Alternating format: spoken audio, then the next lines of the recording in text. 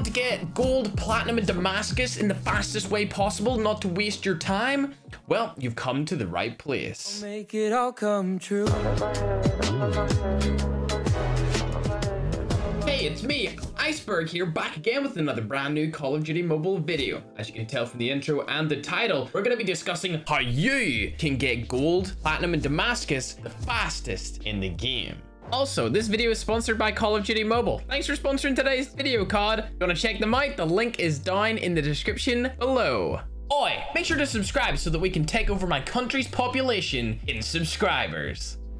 Alright, so a lot of you guys want to get these brand new gun skins. The best ones in the game. The gold, the platinum, the Damascus. If you don't know, in order to get platinum, you need to get all guns gold in the specific category or gun type. For example, once you get all the assault rifles gold, your assault rifles will unlock the platinum camo. Once you get every gun gold, however, you will unlock Damascus, which is kind of insane. Damascus is going to take everyone a long time to get, probably, I would say a month or over a month at least to get Damascus, unless you play every single day, all day. And I know some of y'all play every single day, all day.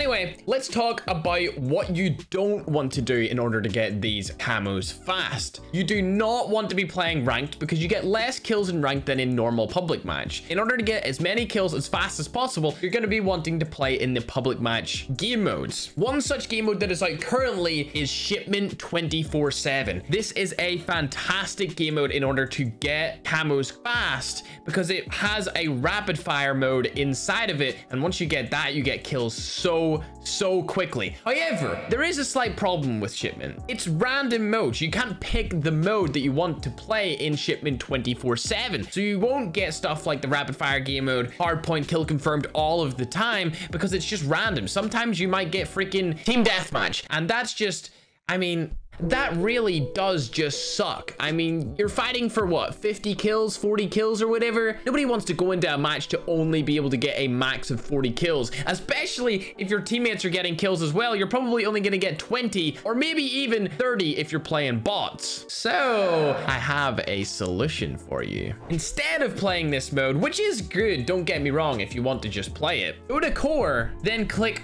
hardpoint. Now you may be thinking, Ferg, why not domination? Domination lasts longer. Hey, you're right, but you're actually wrong. Wrong. You see, if you play public match, like I said, there's bots in it. If you find a bot lobby, two bots will stay in the hard point, which will stop the timer of the game going down. They won't kill each other for a long period of time because they are bad and bots, and you'll be able to get a lot more kills per game than what you would be able to get inside of domination because bots capture domination flags far faster than the timer goes down in hardpoint. Not only can you get hardpoint as a specific game mode, however, you can go to maps, and a lot of people don't know this, but shipment is actually in map selection already. So you can select shipment hardpoint and play it as much as you want instead of playing all of those random modes, which is the reason why I don't think shipment 24-7 is the best thing to do, but it's definitely fun if you want to play different modes and kind of goof off with your friends. However, if you're really trying to go try hard, mode you want to be playing is definitely shipment hardpoint. Trust me, bots are everywhere. Also, a lot of people seem to think that if you get a long range headshot, it will only count as a long shot or a headshot. That's not true. If you get a long shot headshot, you actually get both medals onto your weapon, which is great. That also means if you get a kill, a long shot headshot, and have five attachments on your gun, they all count towards getting a camo for your weapon, which is why you want to be going for headshots all of the time. You never want to be shooting at people's bodies anymore if you're going for those gold, platinum, or Damascus camos. If you already have your gun unlocked with the XP cards that you had left over, use the five attachments first once you get all the kills you need to with those, then switch to the zero attachments. You'll get much more used to the weapon this way, and you won't feel like it's unusable or bad because you'll already be used to it. Then by the time you put on no attachments, you'll be ready to use it, be comfortable with it, and do better. This is my personal favorite camo It's not gold, platinum, or Damascus. I don't know why, but I just love the blue and white combo. Also, if you're going for long shots, I highly suggest you play Crossfire Hardpoint. And if you find that you're going up against too many real people, which is making it harder for you to get things like the long shots or the headshots, then definitely switch over to high rise hardpoint because nobody's doing it in high rise. Everyone's on crossfire. Unfortunately, when this video comes out, there will probably be people in both. So do it quick, dude!